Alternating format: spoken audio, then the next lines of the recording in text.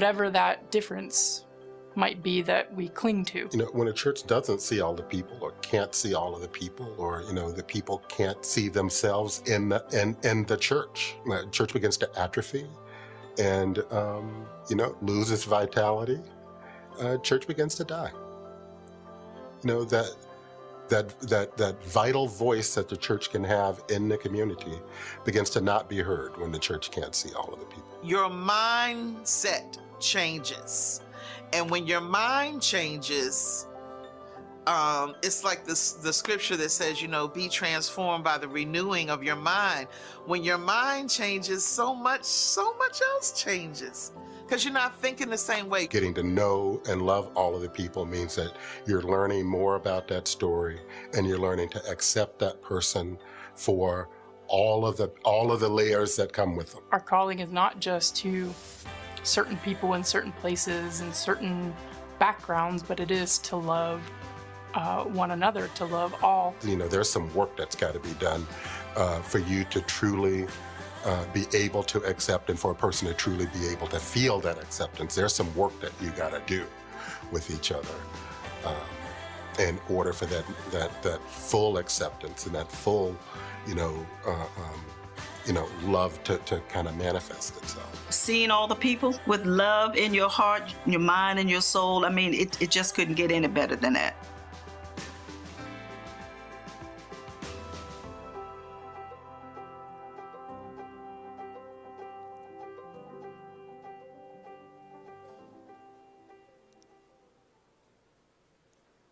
With our chalk at the ready, the first pillar drawn reminds us to see all the people. It is one of the four actions to build a bridge of vitality. A vital church sees all the people. This relies not on eyesight, but on heart sight that happens in conversation and is developed through relationships. As you heard from this sampling of voices, seeing all the people is measured by the degree to which people inside and outside the walls of the church are known, accepted, respected, and valued as children of God by the church. It requires church leaders and members to experience a transformed mindset, to interrupt their fears and biases, to grow in cultural humility, and to build authentic relationships instead of transactional ones. Seeing all the people is an outward mindset that builds relationships with neighbors to create spaces of belonging, inclusion, and to learn from shifting contexts. It means actively erasing boundaries that exist in the communities that we're a part of. When we listen with love in our hearts to the community's voice, one conversation at a time, especially with those on the margins, the Holy Spirit changes us and inspires us. Let's hear a word from the late Reverend Junius Dotson on why seeing all the people is critical part of our discipleship. No, discipleship begins with relationship. We cannot disciple people that we are not in relationship with. We have to see the people that God has called us to reach. This must be the foundation of intentional discipleship. Engaging our community begins with a deep and authentic love for every person created in the image of God. Hello, I'm Junius Dotson, General Secretary and CEO of Discipleship Ministries of the United Methodist Church. I'm here on set of our latest short film for See All the People, a movement of churches dedicated to engaging the communities around our congregations. In my travels to Johannesburg, South Africa, I learned a greeting called Sawubona. It is a greeting used particularly in the northern Natal tribes. It means, I see you, or we see you. And the traditional response is, Yebo Sawubona, which means, yes, I see you too. Friends, seeing is a dialogue. It is an invitation to participate in another's life. I see you means I acknowledge the dignity of your existence. It was in the context of seeing the people that Jesus reminds us through prayer of our call to be engaged in our communities. Matthew 9, verses 36 through 38, describes Jesus as seeing the crowds, and having compassion for them. Our daily prayer should be that we see people the way Jesus sees them. This personal dimension of discipleship means we see all of the people with a desire to be in authentic conversation. We yearn to listen deeply to their story. We have a real desire to know people and to be committed to being in relationship with our neighbors. I believe when these encounters are authentic, organic, and consistent, there will be honest moments to share our faith story and to invite people on a lifelong journey to follow Jesus. When we take time to develop relationships, we create space for the non religious and the nominally religious, or even those who have rejected the church, might find room to search and explore Christianity. This space is created because we are in relationships that are life giving and not simply transactional. Imagine what it would look like to begin to see people who are not currently a part of our church, the people outside our doors, the people across the street, and throughout our communities.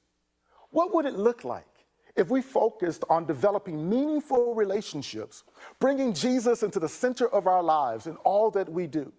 What would it look like to have as our foundation of discipleship persons who are growing in Christ and actively engaging the community? May your love for your community become as deep and wide as God's love for us. May it flow just like discovering a love that is deep and vast as an endless sea. My prayers are with you as you take your next step to engaging your community. To learn more and download free resources, go to seeallthepeople.org.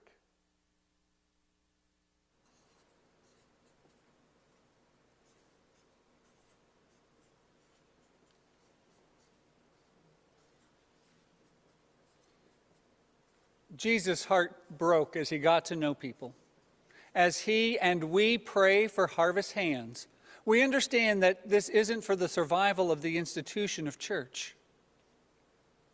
It's, it isn't just to keep our doors open, but for sharing the love and grace of God so that people can live life to the full. Using the same link in the chat, URL plus code or the QR code, answer the next question you see, which is what is one word you would use to describe the importance of seeing all the people? We told you this would be interactive, and already you are active. Thank you, thank you, thank you. Acceptance, yes. Relationship, love, again.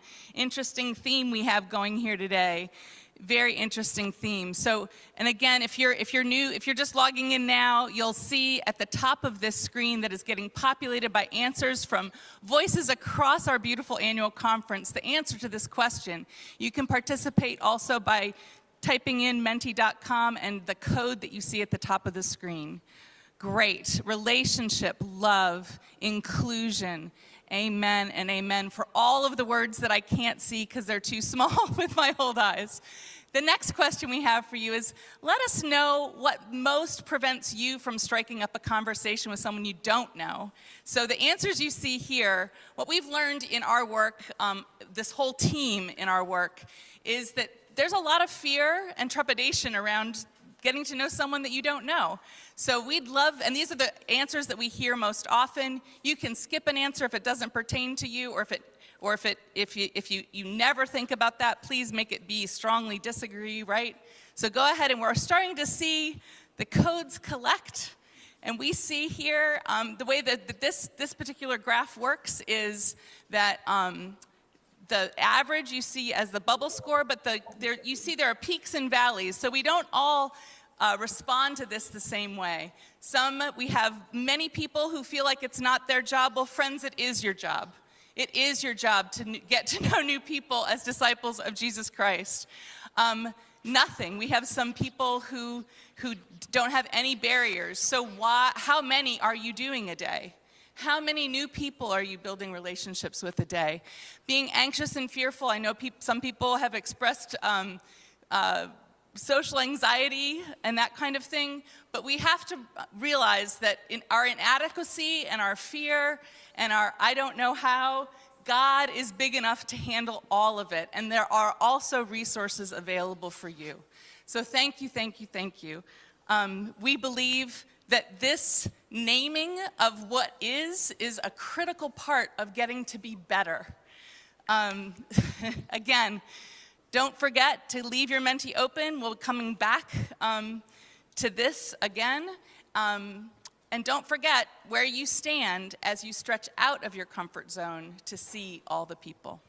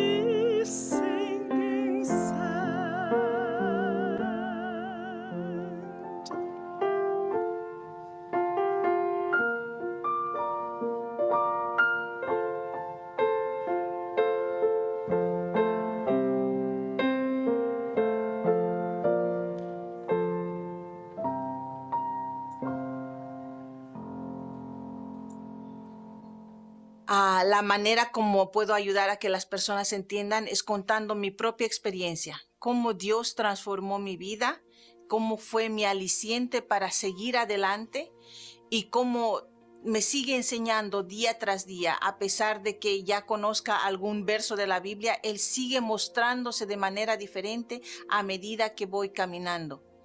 Entonces, con esa experiencia puedo decir que el discipulado es tan importante porque es ese caminar en la jornada propia de cada uno a la manera que Dios quiere que vayamos con Él. Deepening discipleship in a faith community means, you know, just growing together in, in our walk towards, you know, the perfection that, that, that, that we hope to, to arrive at, you know, by the time we, you know, meet our Savior. One of my favorite images of deep discipleship, or like illustrations, I guess, is um, is a vineyard where um, vines that are not using artificial water sources yield uh, a better quality fruit, whereas a lot of vineyards that have moved to more artificial sources of water um, see that they're producing more fruit, but it's not a high quality. It's, there's not a depth to it. And sometimes, you know, we have to travel,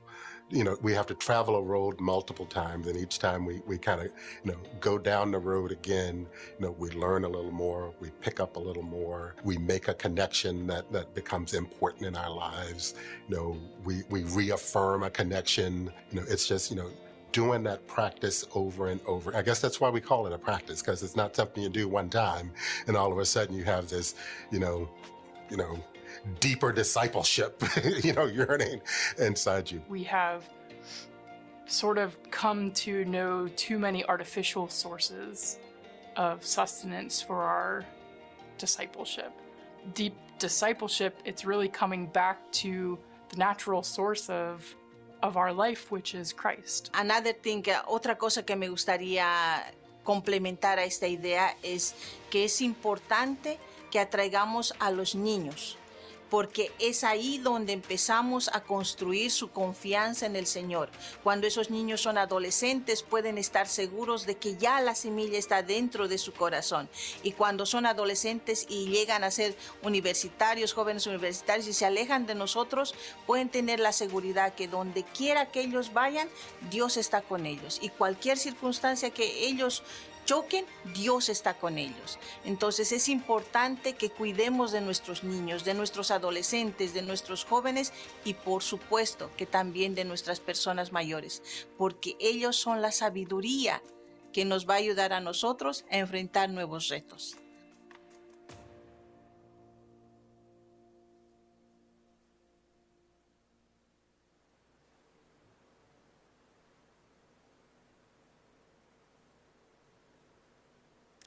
Greetings. The second pillar drawn represents deepening discipleship. The mission of each United Methodist Church is to make disciples of Jesus Christ for the transformation of the world. Members of a vital church take responsibility for growing in faith by cultivating Christian practices through the means of grace.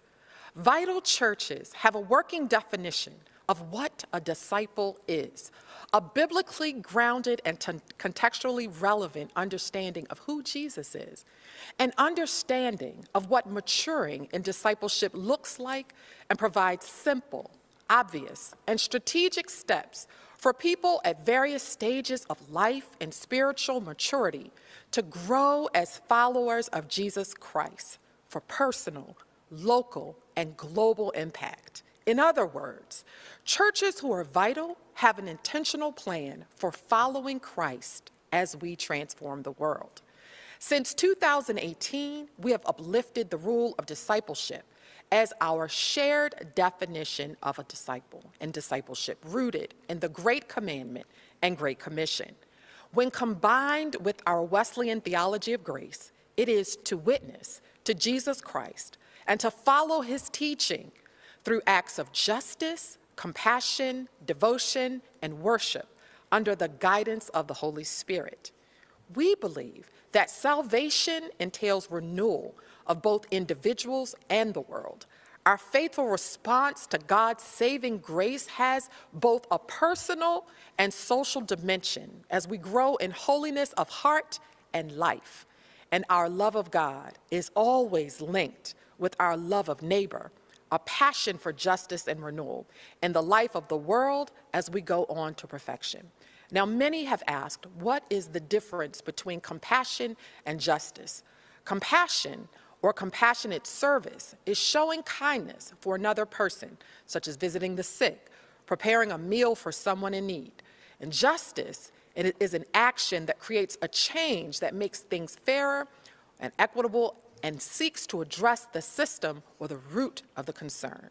Now, the list on the screen created by Discipleship Ministries is not meant to be comprehensive, nor is it to give us a picture of what justice looks like. It is designed to help us to envision a first step from compassion toward justice. For Wesley, a form of personal piety, devotion, and compassion unanchored in social holiness, worship, and justice is worth examining and reconsidering as we live the gospel of Jesus Christ.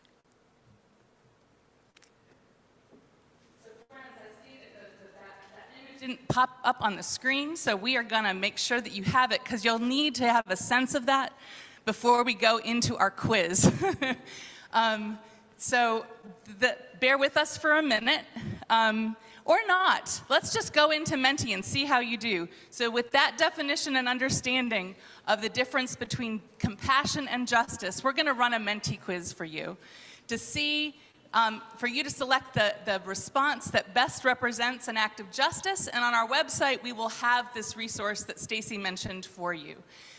So you're going to log in, and we're going to play a little game. Um, you'll have 15 seconds to select the response that best represents an act of justice, and you'll see them on your device better than I can see them from mine. So befriend someone who comes up from a different culture. There you go. Write a letter to your congressperson about an issue of discrimination. Is the answer that best represents an act of justice versus befriending someone who comes from a different culture or visiting someone who's wrongfully imprisoned due to discrimination. So great job for the 58 of you. Woohoo! Let's do the next one. So, oh, oh, I forgot. We have a leaderboard. So if you've, if you've named yourself, you can see where you stood based on the answer that you gave and how fast you gave it. The next question.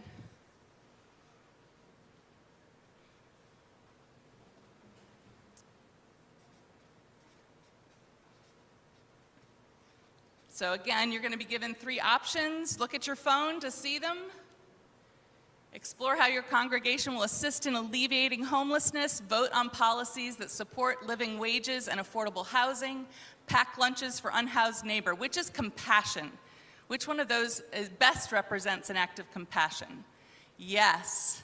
Pack lunches for unhoused neighbors. Good. You guys didn't need the chart. Awesome. Awesome. Awesome. One more. One more try. Let's do another another quiz and see how the leaderboard changed. It's never too late to, to join this game, folks. So um, we have a close a close uh, close running there. Question three. And again, fast answers are not as important to us. Leaderboards are not as important to us, but um, it just makes it some fun. Best represents an act of justice, addresses policies in schools that penalize food insecure students, pack backpacks of food for those who are on free or reduced lunch, run a food pantry, or food insecure families. All of these things are good. It's just trying to differentiate the justice from the compassion. Yes, address policies. I think, friends, that you've, you, you, you get it. Um, so we were trying to give you some food for thought there, as that was a question that kept coming up um, with our boards.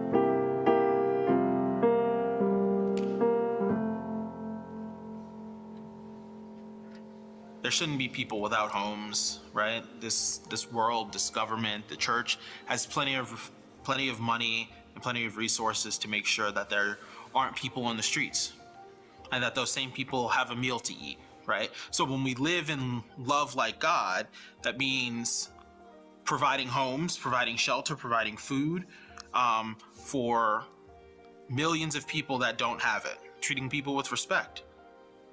There are plenty of places where we see respect not being given to women, being given to queer people, being given to people of color. Um, and I think living, loving like God is is putting people before yourself. Gandhi had a quote that said, I love your Jesus. I don't love your Christians. If your Christians were more like Jesus, all of India would be Christian. There's a, a standard in people's minds of, of living like Jesus. all are welcome, no matter what you look like, where you were born, who you love, um, what your cultural background is, what your financial situation is, how you're dressed up. You are welcome and loved in the church.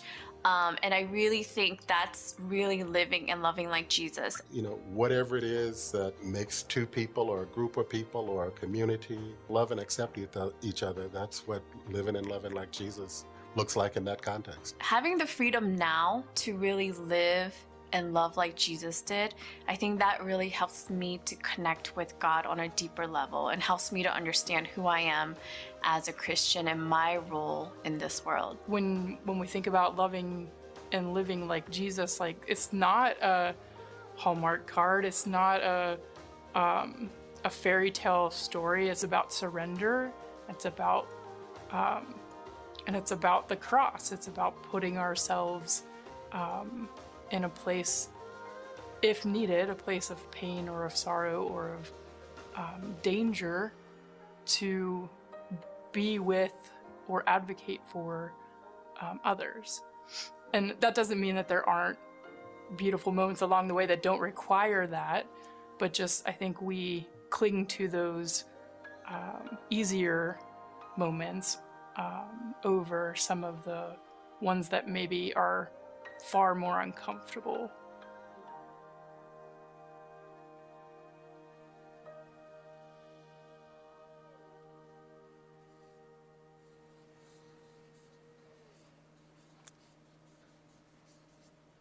The third pillar has been drawn to represent living and loving like Jesus.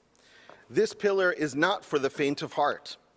Living and loving like Jesus is dangerous because this love proclaims freedom for the prisoners, recovery of sight for the blind, liberty for the oppressed, and proclaims the year of the Lord's favor.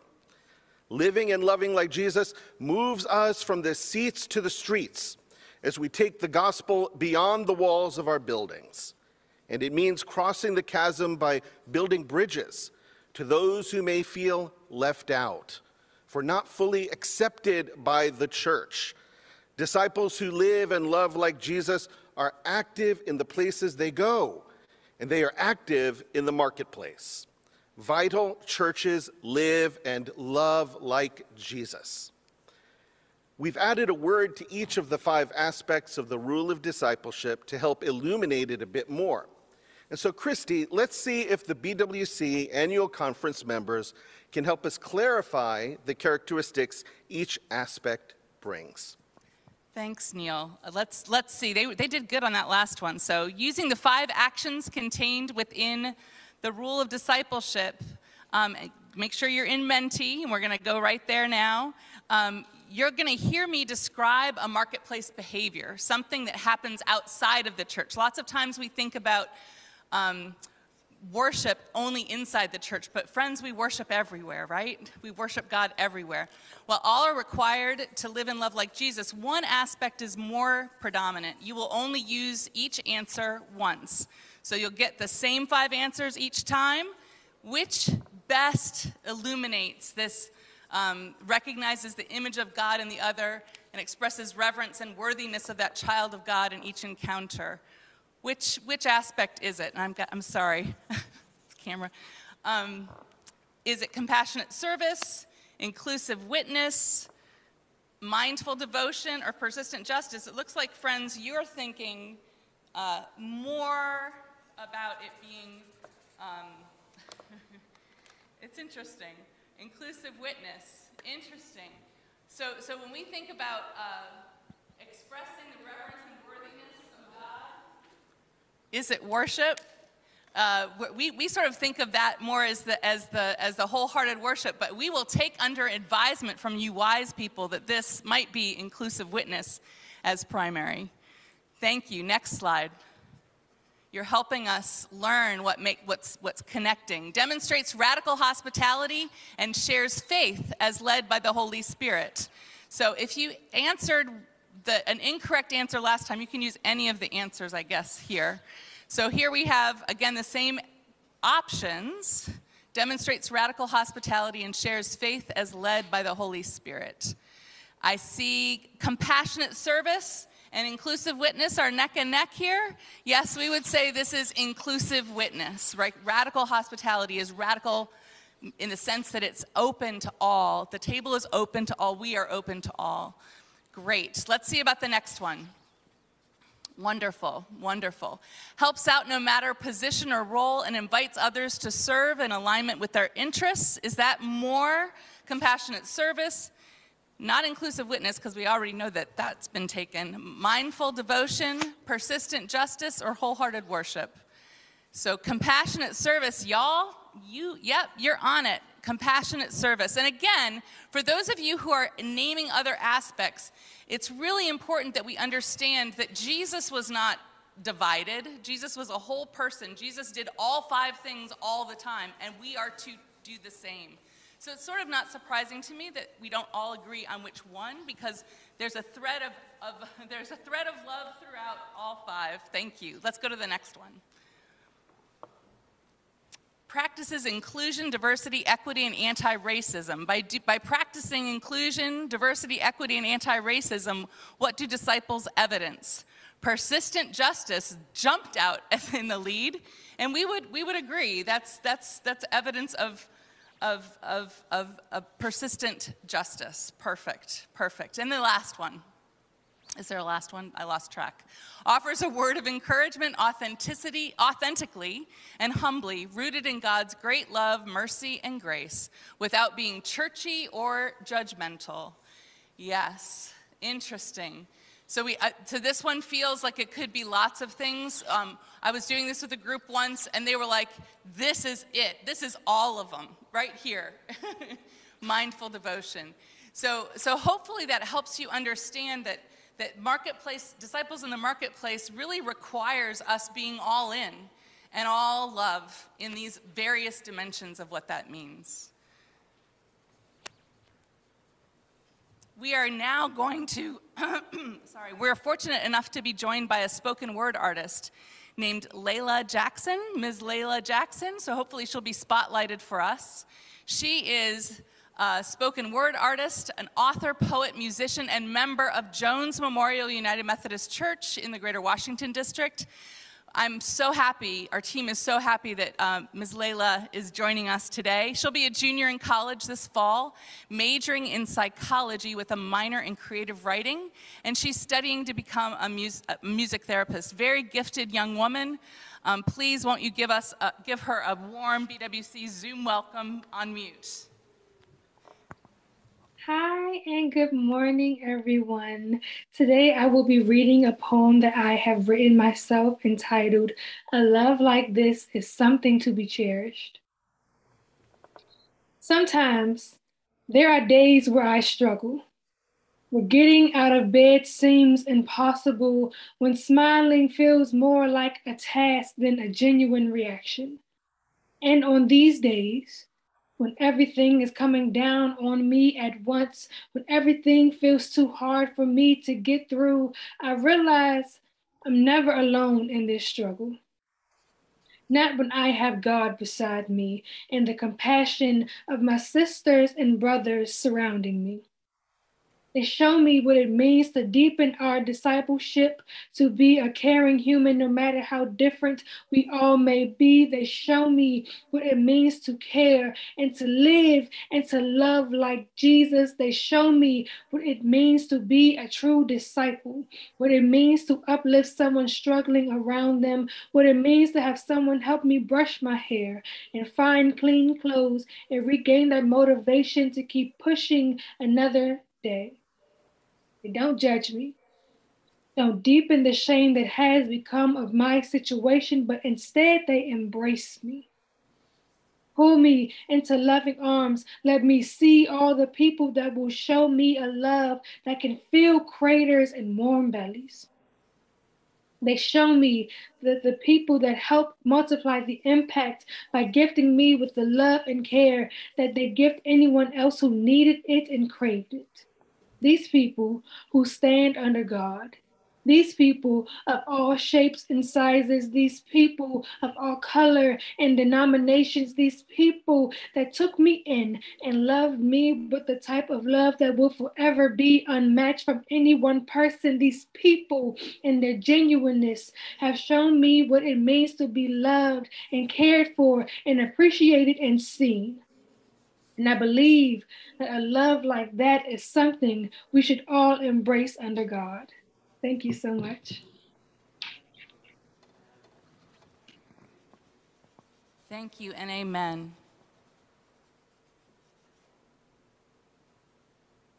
we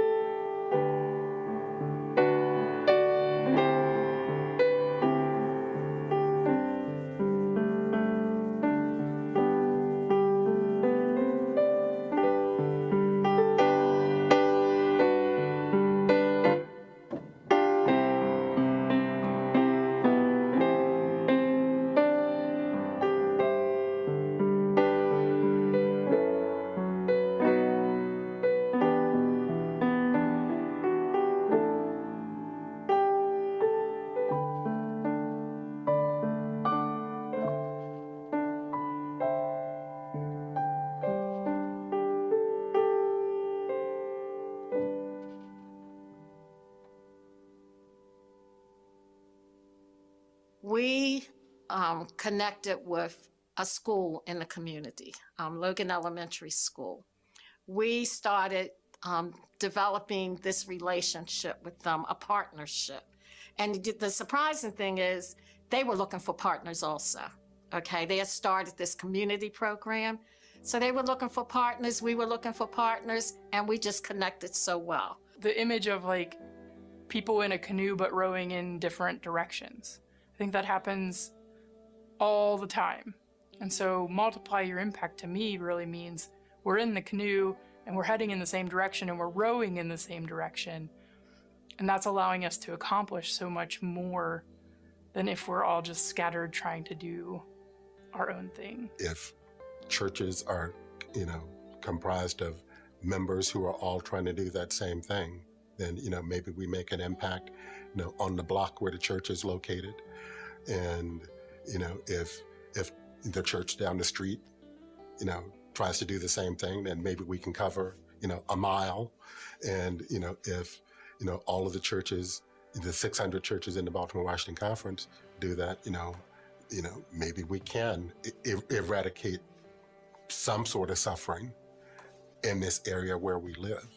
If you haven't made the connections within that community, or if you haven't made a great enough impact in that community, then can you really justify being in that community? Something the church has not always been good at is listening, um, trying to understand the the real issues that the community is facing, the real problems that exist, but not just understanding the issues and problems, but seeing where are there groups or people or resources already being put to use that we can join in with, um, or we try to uh, diagnose the problem and put a solution to it without having done that crucial step of of listening and understanding. I'm engaged both in that church and in my community association, and I think that there can be such synergy there. Um, it's and it's like everybody wants to work together. Everybody is about building relationships, and to me, that's well, I think to all of us, that's where it begins: building relationships. Uh, measuring the dollars isn't what's important. Measuring the number of buildings that may have been built isn't what's important. What you want to measure is the people that you've touched and the people who have touched you, because that's what matters. That's what makes you vibrant. That's what makes them vibrant. Uh, so often we want to hang on to or cling to what we know, what we've always done, whereas, you know, there's so many other new opportunities that God may be calling us to um, that require us to let go of um, all of those preconceived things that we have. Um, and if we were able to really let go and see what God might do with that, I think that's where we could really see that multiply the impact. That it becomes less about us and what we want and more about um, where we see God calling us to be in the midst of um, our communities.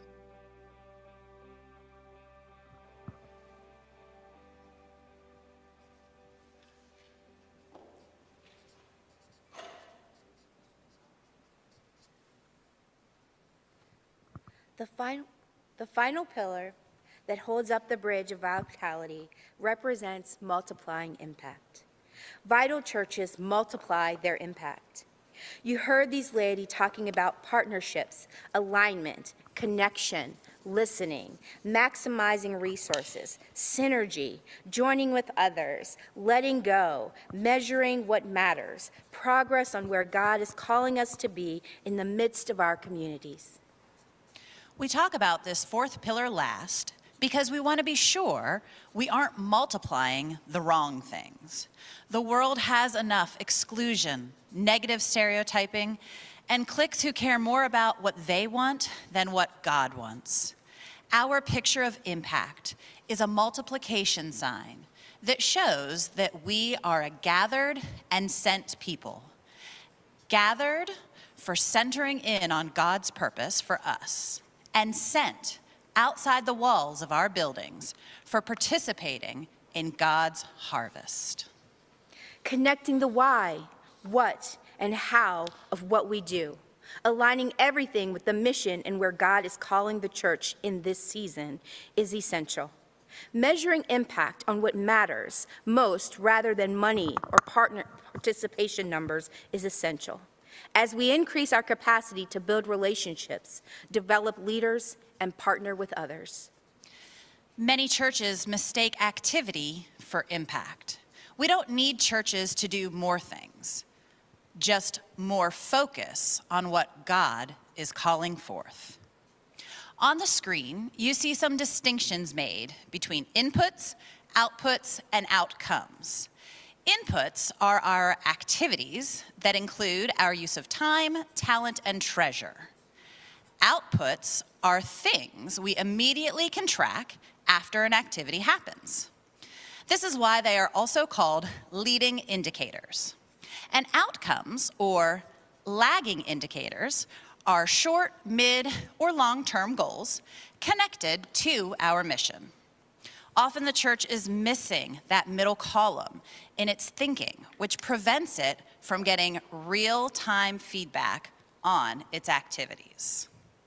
Let's take a look at some personal examples before applying this to the church.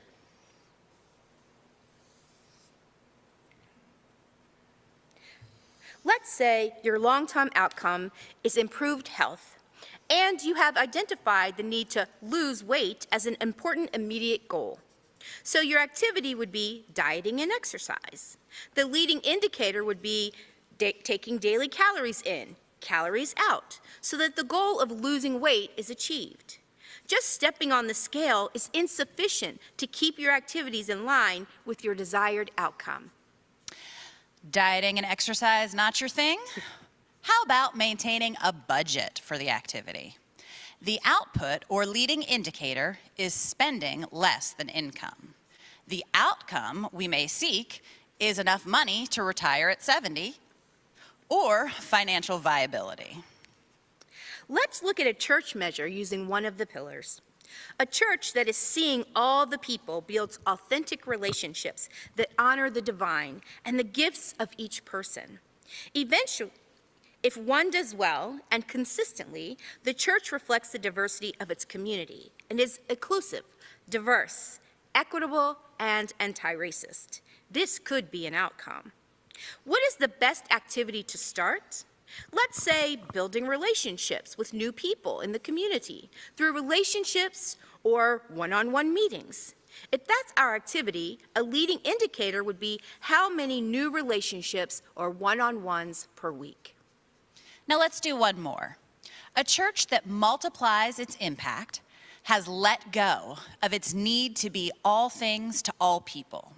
It is ready for doing something new, has discerned, and is aligned around what difference God is calling them to make in the name of Jesus, and has created metrics that helps them know whether or not they are making progress in that very specific area. For example, if the outcome is literacy, we might track on grade level reading. If that is our outcome, the leading indicator could be the number of volunteer hours spent reading each week or month. This is so important. Too often, we are so caught up in doing church that we don't make time to reflect on what we need to stop or start doing to be the church that God is calling us to be. We'd love to hear where you find yourself in this area of multiplying impact. Christy?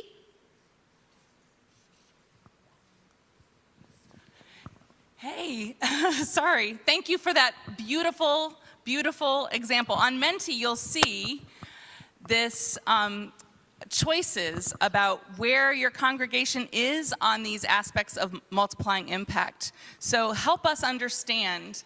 Um, are you, do you have leaders who are mentoring and being mentored? Do you have all activities aligned to the mission? Is the building being maximized for the greatest common good? Have you discerned already, done the hard work of discerning where God's calling us to meet a real situation in the community? And by the way, that discernment cannot just be within the community of the within the four walls. It's the wider community has to be included in that discernment. We have an imp- do you have an impact measure that excites you and others in the community? Please share with us where you are in that. And you are sharing with us where you are in that. Um, and it's all good. It's just important that we're honest and we're not trying to um, sugarcoat our reality because it's very difficult to make changes if you don't. It's very difficult to get where you where God's calling you if you're not being real to yourself about where you are, where you're starting. So we see um, again a wide range of responses, and this idea of impact measure is new for the church, and it's going to be something you're going to be um, seeing more and hearing more about. It's part of what we're doing in some of the um, pathways, the congregational development pathways, but we'll also be offering that outside of that. Um, great. So leaders being mentored and mentored, and mentoring and mentoring, mentored, um, is something that you could implement fairly quickly, right? Some of these others are going to take you a little longer to get to. Thank you so much for sharing where you are, because it helps us even know that there's not a clear, a clear place where we're um, strongly agreeing um, and there's not a clear place where we're, you know, we're sort of all in the middle, all in the middle. So thank you for, for your honesty there. Hopefully that's unpacked for you a bit more about what multiplying your impact really means. So we are going to again be rooted and reminded of where we stand as we do this work together.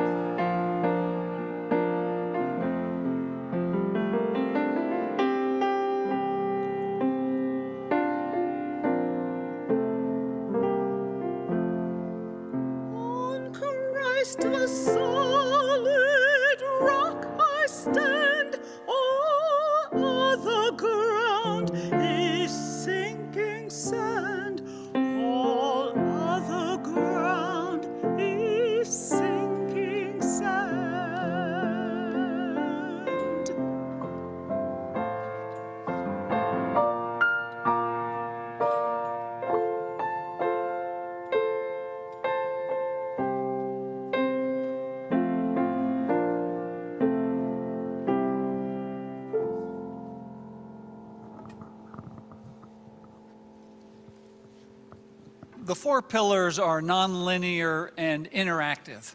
The roadway to 100% of our churches becoming 100% vital is formed through our continuous action.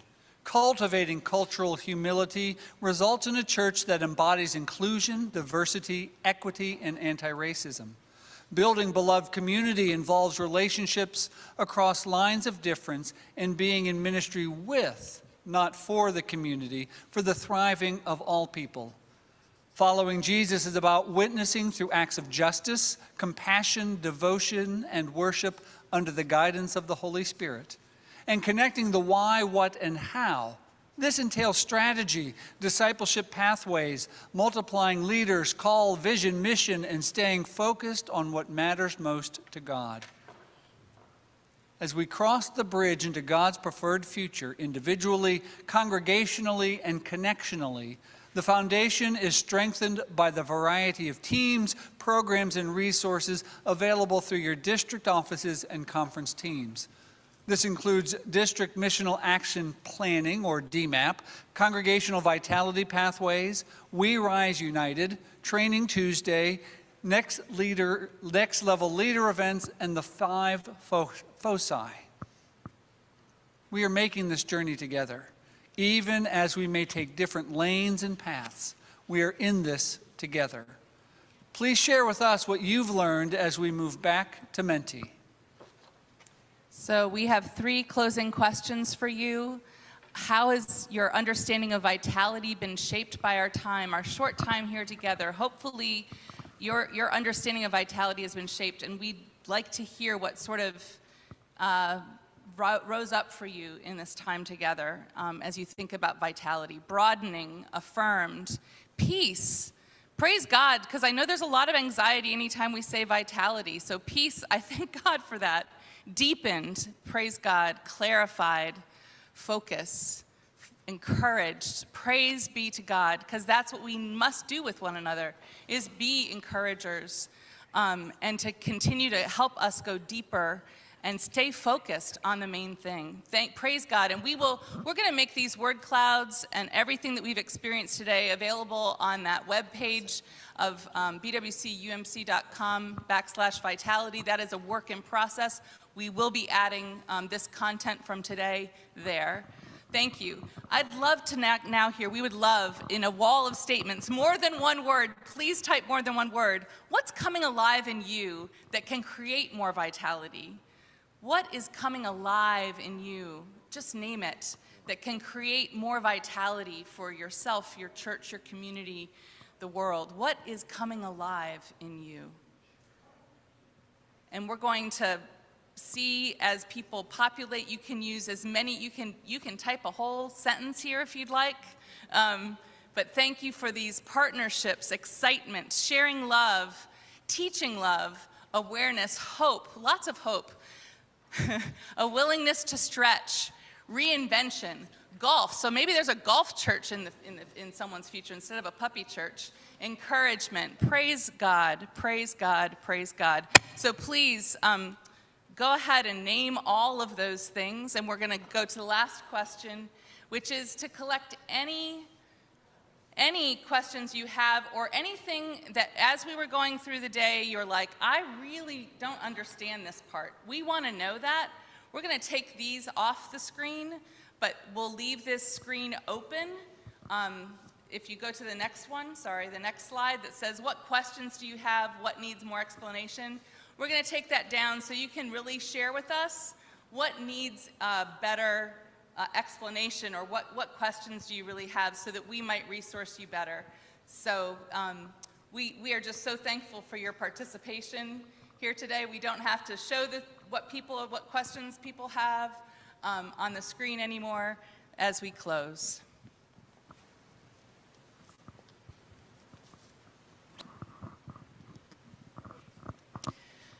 Chalk is fun, but messy. While it is no longer used in most U.S. classrooms, it is still used outside by both children and adults to express themselves in public spaces. We are lifting up that art form to underscore the fact that vitality requires moving beyond the church walls and into the messiness of next. In the Baltimore Washington Conference, there are 165,000 professing members and disciples of Jesus Christ. If all of those 165,000 faithful and impactful disciples of Jesus Christ are indeed transforming the world for God's glory, lives, churches, and communities will experience abundant life.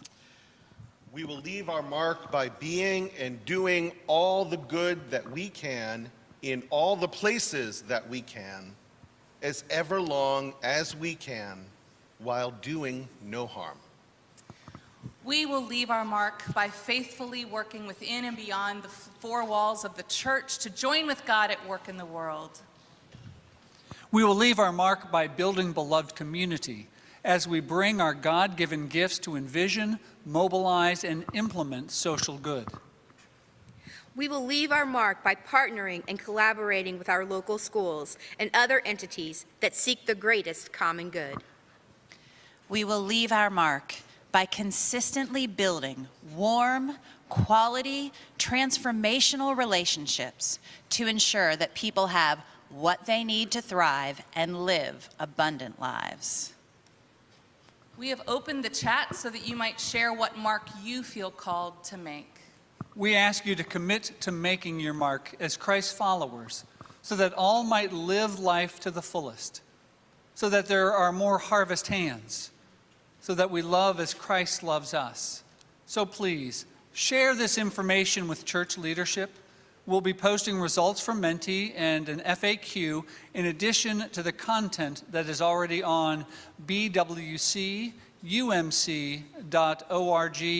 forward slash vitality. We also ask you to see all the people better by sending two to three people from your congregation to the virtual Comparative Insight Workshop on Saturday, June 25th from 9 until noon. But most importantly, we ask you to pray. Let us remember that we are ever going on to perfection and that our hope is in Christ alone.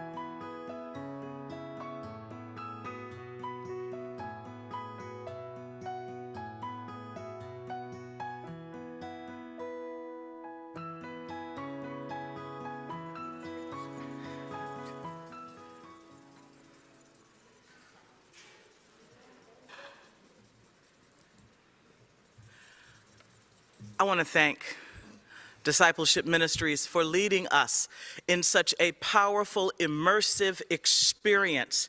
If there is anybody in the Baltimore Washington Conference who now claims they don't understand what vitality is all about, I'm going to wonder where they've been. Christy, thank you for an excellent and powerful presentation.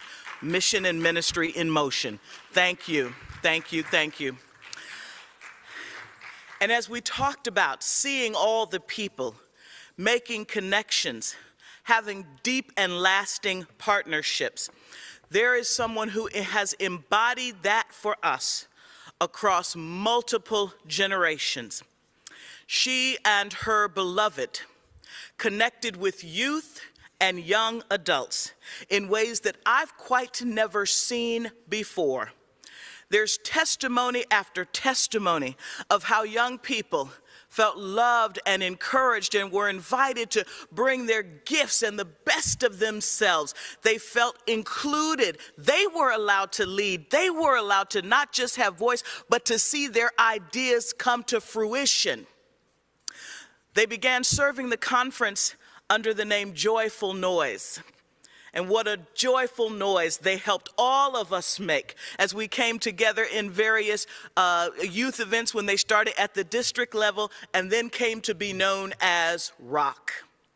Well, Becky and Tom Price were rocks for this Baltimore Washington conference. And we could not be more grateful for the seeds that they planted, for the ways that they have imbued exactly what Jesus Christ modeled for us in young people and young adults. It, it, will take, it will take generations for all of the fruit that they've helped plant to really continue to thrive and to grow. Becky has shared with us that she's ready now to move on into the next season of her life. But we wanted to take this opportunity to say thank you. Christy is someone who's worked side by side with her in leading our young people. Talk to us about a little of how, you, how you've experienced Becky and Tom. Well, Becky and Tom have been a, a gift to me as well as the conference, and they really have sought to always put God and the kids first. Like anything and any time that you've been with them, um, you know that you can't escape how deep their love is for God and for young people. And the ways in which that um, I've talked, I remember talking with Tom when I first encountered the Baltimore Washington Conference back in 2004 when he was in that role, all the way through Becky and their vision for what it really means to offer Christ to everyone. Um, and we will, um, as, as, as, as we know, we are going to. I was in denial a bit, I got to say, when I got the resignation letter.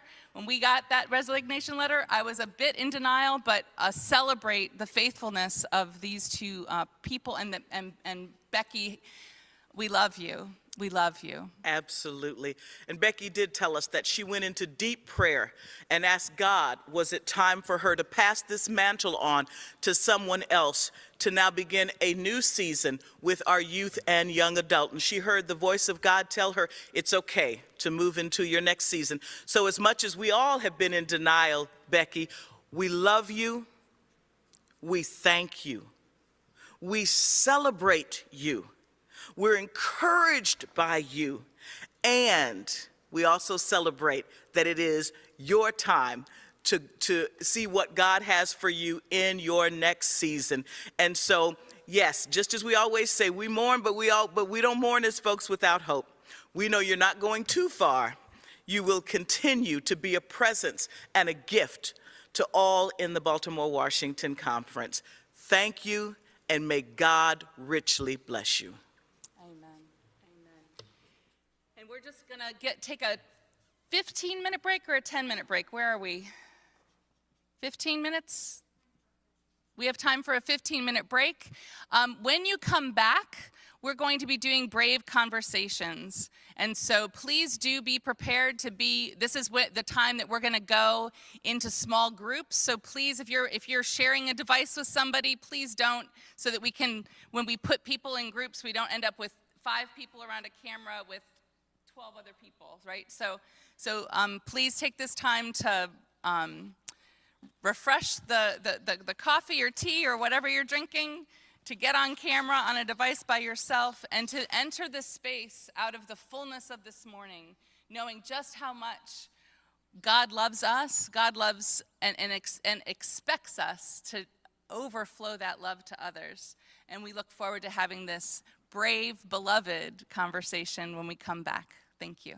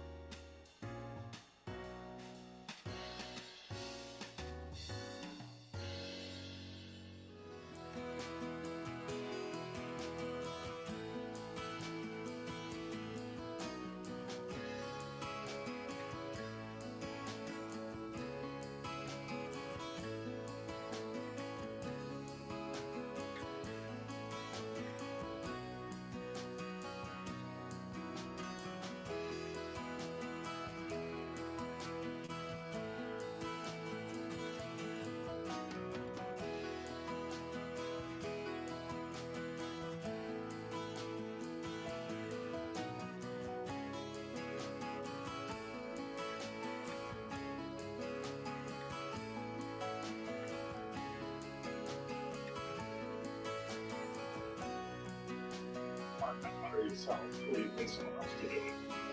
Want to make sure that the, the lead card comes.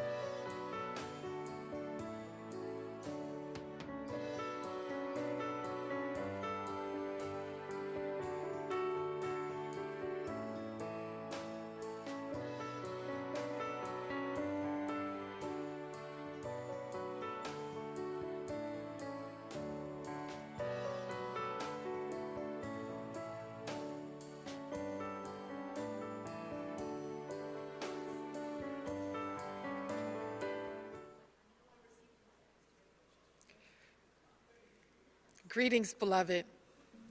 Thank you for catching a glimpse of why vitality is so important and how you might engage it. In this context of rich images and vitality, let us go deeper as we center and focus on our relationship with God and one another. I am inviting you to journey with us and, and enable this virtual space to be brave space, to be a place where we can deeply engage one another. We will start with this prayer. Take a look.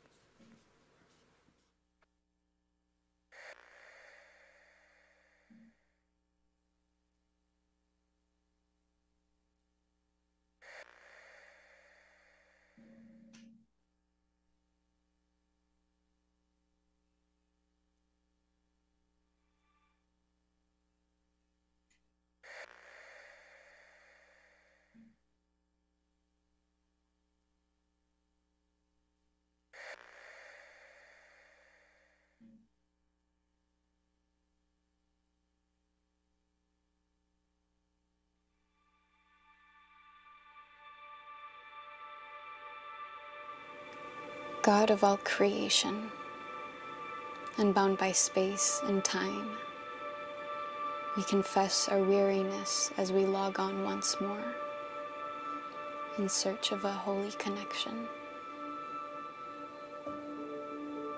Though we would not choose to meet this way, we hold to the promise that you choose always to meet us where we are.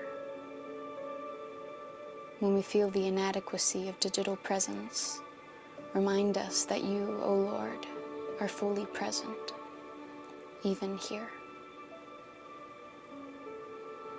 When we feel the strain of needing to perform who we are, when we are seen but not known, remind us that you, O Lord, know us completely.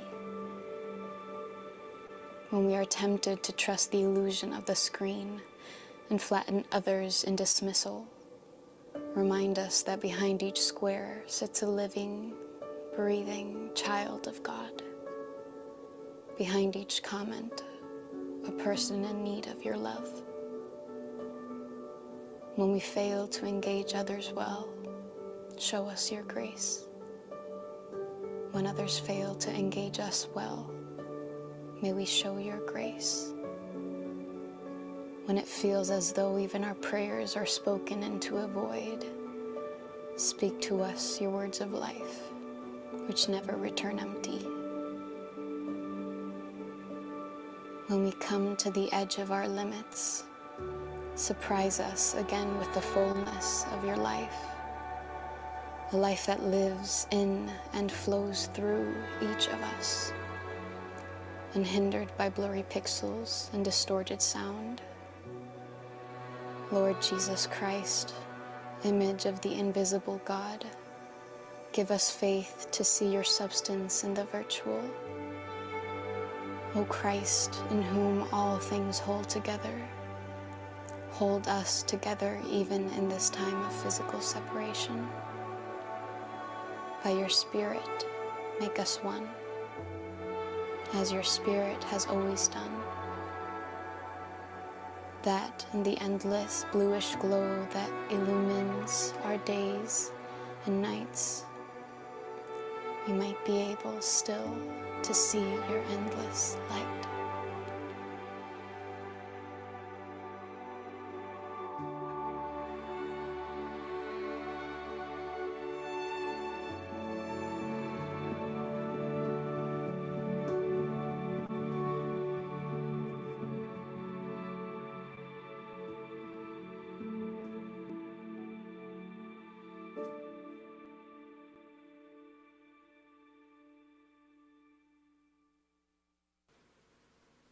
Amen.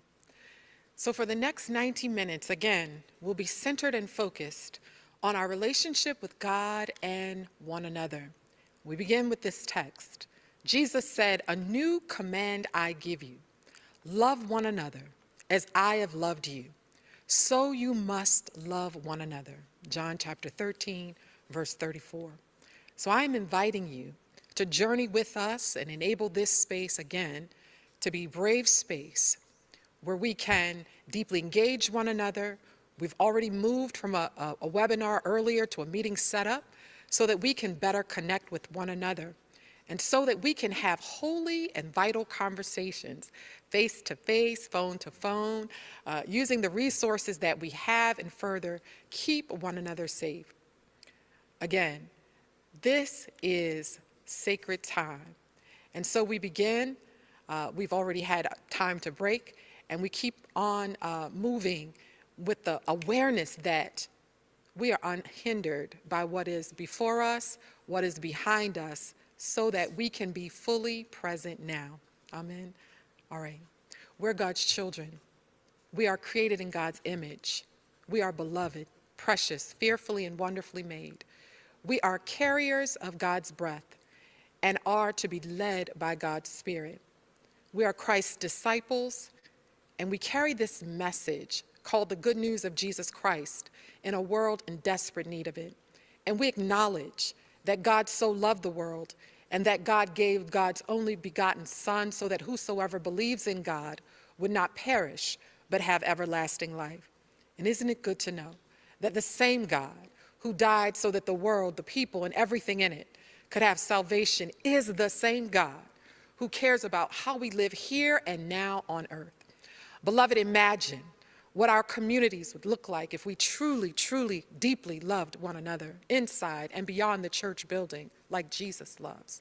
If we believed that each of us lives in the very presence of God, within the brave circles of God's grace, how might we live knowing that God loves and is with us always in all we are, in all we think, do, or say, and in all of our relationships? How might our relationships be different if differences were respected and valued as not bad, not good, not hated, not inferior, not superior, but simply different?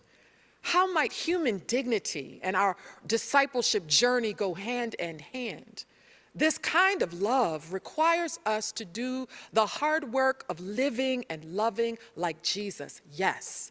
And it demands that we become aware of and reduce our biases, prejudices, preferences, and we all have them. We have them.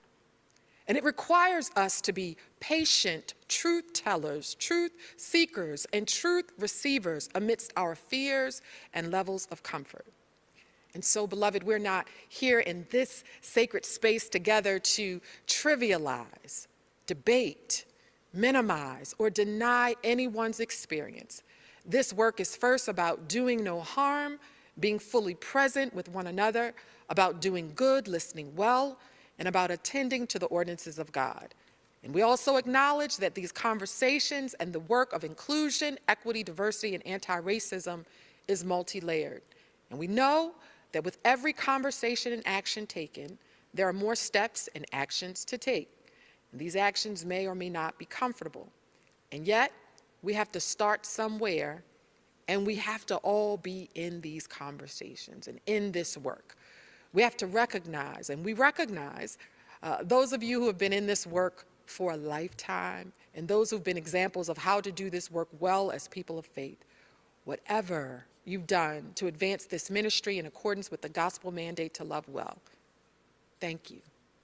Together, we endeavor to respect the image of God in the other on a daily basis and denounce every act of indifference, every act of hate or indifference. Now, that's the foundational message and is rooted in these six actions or traits required to create a culture of beloved community. And these traits are seek and build relationships because this is how Jesus lived, respect different forms of expression, understanding that I may not know what is, what is going on. Three, exam, examine my own assumptions and perceptions so that I might avoid projecting my cultural values onto others. Assume positive intent as we are all moving on to perfection. Listen for understanding because agreement is optional. And exercise cultural humility, understanding that the world in which I was born is just one model of reality. We seek to create brave space so that we might be able to do deep work together. Now, the term brave space first emerged on college campuses among faculty and students working in interracial dialogue. And they realized that the common idea of safe space was an illusion, particularly for those who've been most marginalized. What's more, too often, folks were confusing a safe space with a comfortable space. Learning to sit with each other's truths means we have to learn to sit with discomfort. And being in honest conversation with each other takes bravery, both to be vulnerable and to stay present in the face of hurt feelings, knowing, beloved, that we won't be and aren't perfect. So uh, we begin with this Brave Space poem, and while you're on mute, I'm just going to invite you to read the words on the screen as able, as they're projected. There is no such thing as safe space. We exist in the real world. We all carry scars and have caused wounds. This space seeks to turn down the volume of the world outside and amplify voices that have to fight to be heard elsewhere. This space will not be perfect. It will not always be what we wish it to be, but it will be our space together, and we will work on it side by side. At this time, I'd like to review with you the uh, guidelines for our time together, and it's called Respectful Communications and, and Mutual Invitation. So what you'll see on the screen by Eric Law, the Respectful Communications Guidelines. So R, we take responsibility for what we say without blaming others. E, we use empathic listening. S, we're sensitive to differences uh, in, in communication styles. P, we'll ponder what we think before we actually speak. E, we'll examine our own assumptions and perceptions. C, we'll keep confidentiality. And T, we'll tolerate ambiguity uh, because we are all learners and, and, and, and, and in this space together um, as equals. Okay? So at this time, uh, just to help us get, get acquainted to this, this new platform that we're on together at, where we can actually uh, engage one another, we can see each other, we can use our voice in the space as best able. I'm going to ask you when you go into your breakouts to share your responses to these questions. Number one, what's your name? Two, where is home for you? Uh, where do you feel most at home? Again, what's your name? Where is home for you? Where do you feel most at home? And this does not have to be a geographic place. And if you have additional time, uh, here's an option for going deeper. Who or what does your heart break for? Who or what does your heart break for? We'll have about five minutes, and then we'll return back to the main session.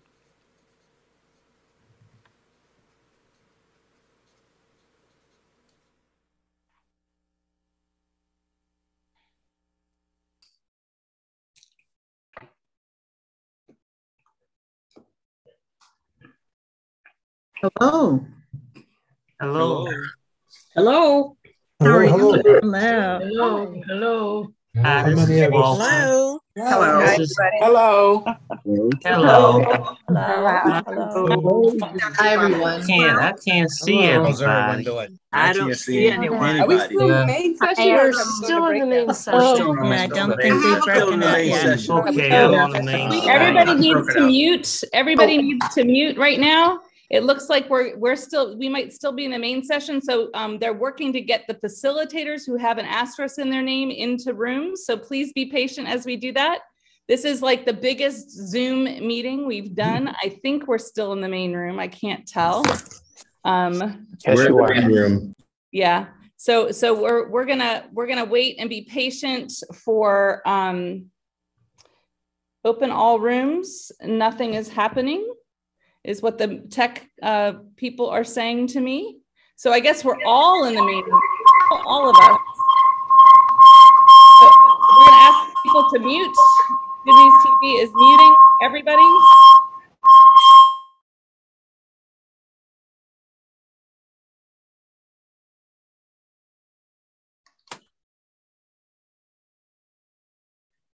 Thank you, Good News TV, for doing this gargantuan task of dividing 400 people into uh, breakout rooms. So everyone who's had to deal with Zoom understands that sometimes what we practice doesn't happen.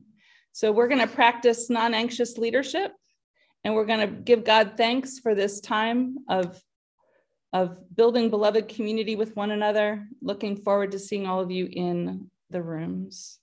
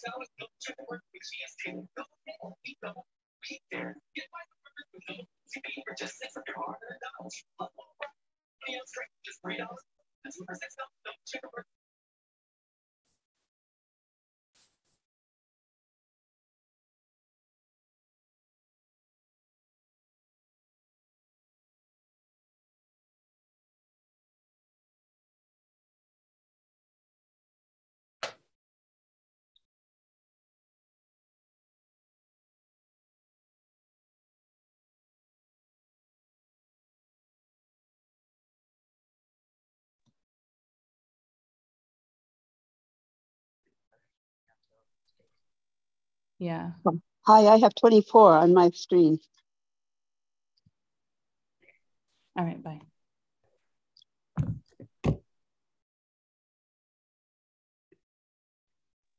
They are working on the solution to this. So thank you for your patience. And we could all practice coming off camera because we're about ready to go into breakout rooms.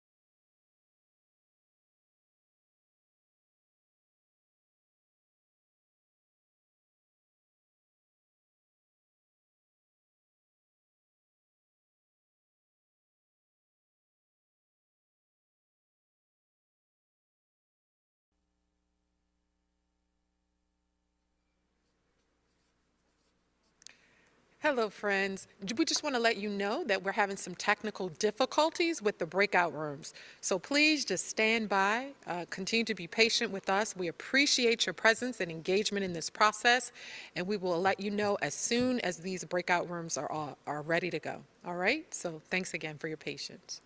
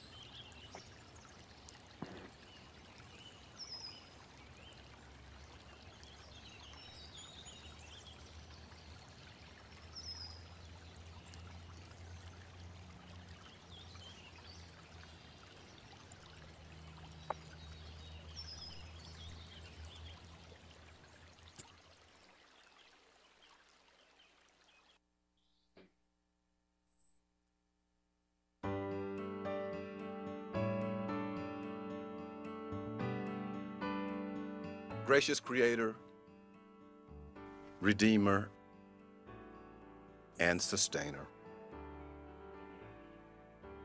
May our gratitude toward you and your blessings be so evident that we become like the life giving breath we breathe.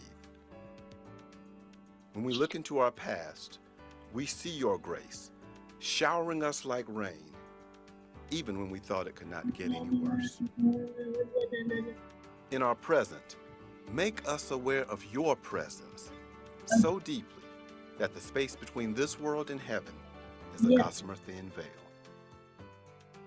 In our future, may our hope be piercing into the darkness of the unknown, guiding our hearts closer to you. Thank you, Lord. Thank you, Christ. Thank you, Holy Spirit. Amen.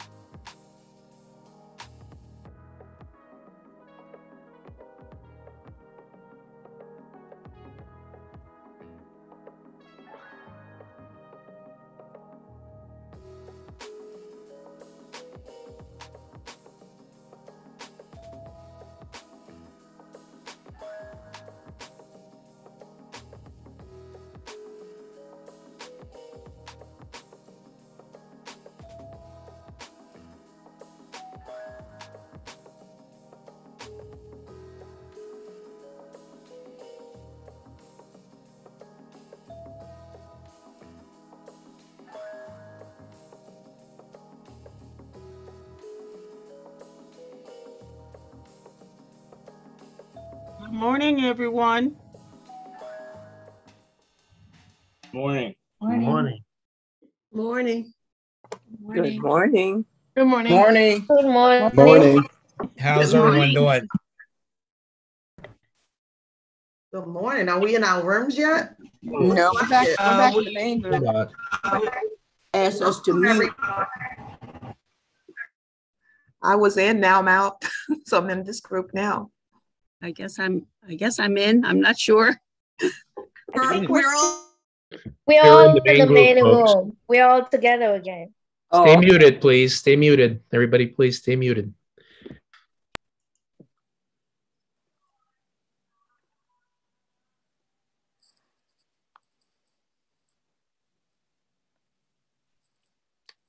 have conversations face to face, right?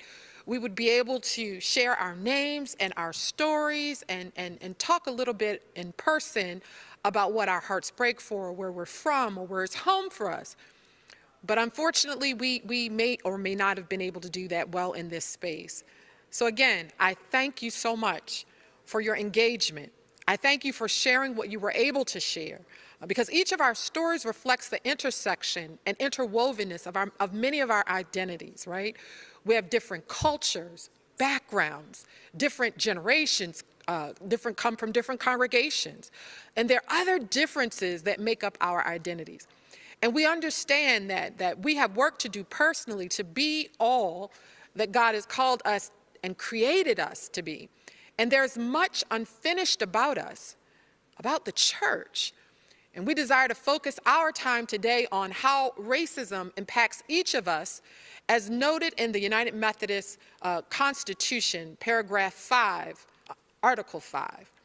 And what's in that is so important for us to think through, especially right now, especially as we are in this brave conversation.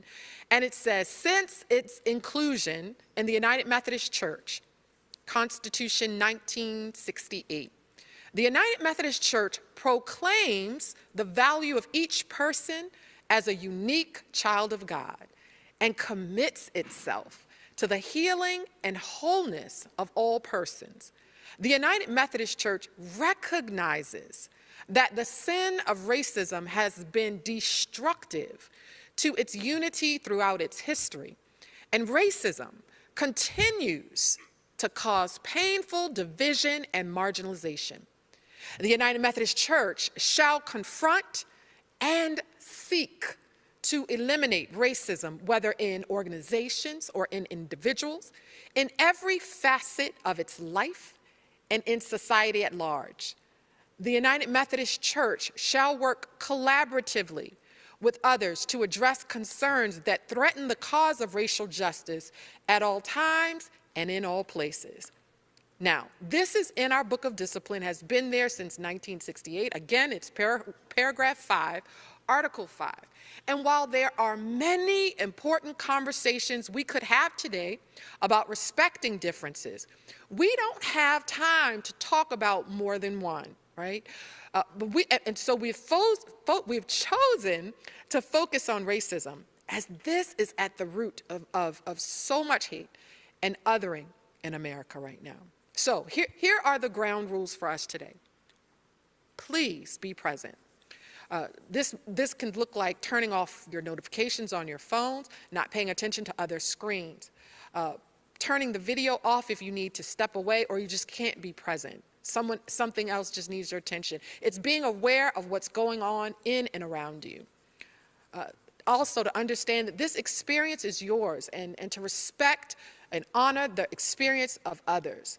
When we speak, we want to uh, begin and stick with I statements and avoid advice giving unless someone suggests it. This isn't the time that we try to fix, save, advise, or correct each other. In this space, we are patient and respectful with speaking turns and speaking times. Uh, notice that if you're talking more than someone else, that, that you'll step back and give another voice a chance to be heard. And we also understand that silence can be powerful together. And we welcome that silence has, has a lot to say as much as speech. We want to be aware of erasure, understanding that empathy is putting ourselves on the, uh, in, it, is not uh, putting ourselves in someone else's shoes. It's appreciating how very different it is to be who you are, right? Uh, confidentiality, what happens at the table, what happens in the virtual space, what happens in the room, uh, remains in that room. No quotes or identifying details will be shared without permission. Now, there are uh, we, we have facilitators who are here with us, and if you are able to see them on the, the Zoom, uh, if they want to just wave right now so that you can see who they are, uh, these are individuals who, who will um, who have agreed to help us to maintain the rules of this time together. Now, since the breakout rooms aren't quite uh, ready and, and, and, and this is a, a large group and we want to make sure that, that we can at least have an experience here today, we're going to maintain uh, our, our, maintain this, this group space. So we're not going to move into our breakout rooms. We're going to all be here together, which will greatly need your support and help, okay? Um, so we're not going to move you into breakout rooms so that you can have individual conversations or smaller group conversations. So that that'll be different. So when you come back on June 25th, if you're willing to join us, you'll notice that we'll have smaller group conversations. But for the sake of our time today, we're going to all be together. All right. So uh, as Dusha Hackett often says, I need you to bend with me a little bit uh, and just remain flexible. And then at the appropriate time, I may ask some brave individuals to, to offer your voice in this space. Okay? So we'll continue on.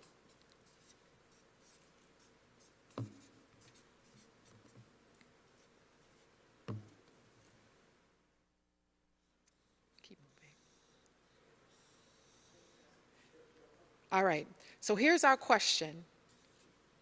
When was the last time you felt truly heard or known? And, or, you can ask Add your response to the question. The Reverend Dr. Martin Luther King Jr. spoke of a vision of a world where his children will not be judged by the color of their skin, but by the content of their character. What do these words mean to your reality and vision? How has skin color impacted your existence? All right, I want to go back to those questions so that you have them again, and we're going to ask those questions to be placed in the chat for you.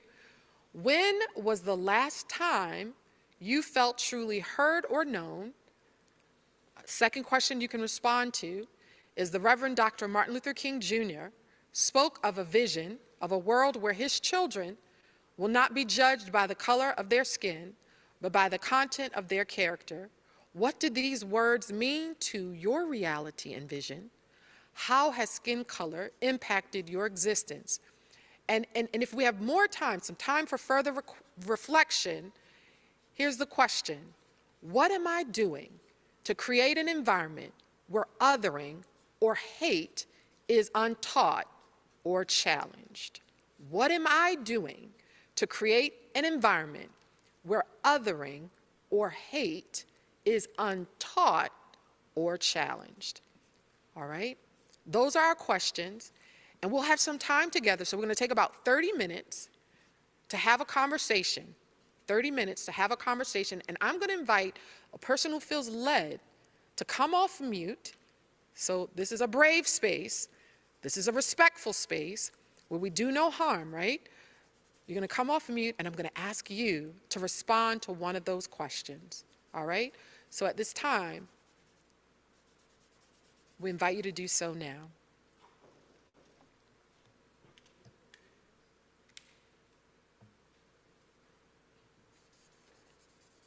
Hey, this is um Walter Walter Jackson. I'll I'll go. Thank oh, you, and I'm from I'm from Chase United Methodist Church. So I'll I'll try to take one that I think is kind of um difficult but impactful. And I think the way that you verbalized it is what do I do to create an environment where othering or hate is not taught or is challenged? And um what I try to do is accept people the way that they are and not judge people for being the way that they are. And I also strive to not um, transfer negativity onto myself, but to project positivity because I think that um, when we see people, we see the outside. I don't know what's going on on the inside. I don't know what happened um, before you left your home. I don't know what your life experiences were. Um, I don't know any of that. I don't know how you feel. So I try not to take anything that I perceive initially. I try to um, just realize that you're processing your life and doing the best that you can, and I'm going to do the best that I can. And I also try to be forgiving and work with people because I want people to work with me. And I also think about not just me, but what if it was my child or my spouse or somebody that I really cared for? I would like another person to give them the benefit of the doubt. So I try to give others the benefit of the doubt and to work with them. And then the last thing that I attempt to do is to be honest. If something isn't right, or if I think that I'm being treated unfairly or someone else is, I speak to it. And I know that to speak to it, I don't have to be cruel, mean hearted, disagreeable. I should still strive to display the fruits of the Spirit. But I think that it's important to be honest and to not be dishonest with myself and just harbor bad feelings and negative feelings because then I feel the poison on the inside. So I just try to let people know because um, if you don't tell a person, they won't know. They won't understand. Sometimes when I feel like I'm being hurt or I'm being disrespected, it's because they didn't understand that that's how I feel, you know, because everybody doesn't um, react or respond to others the way that I do. So those are some of the things that I try to do. I just try to be transparent. I try to be honest. I try to be fair. Um, and, you know, I want to be treated justly. So therefore, I should treat other people justly and that that really helps me to um, work with people a little bit more. So I don't know if that was a good answer, but that's my answer, and I'm sticking to it. Um, and that's all I got. Thank you.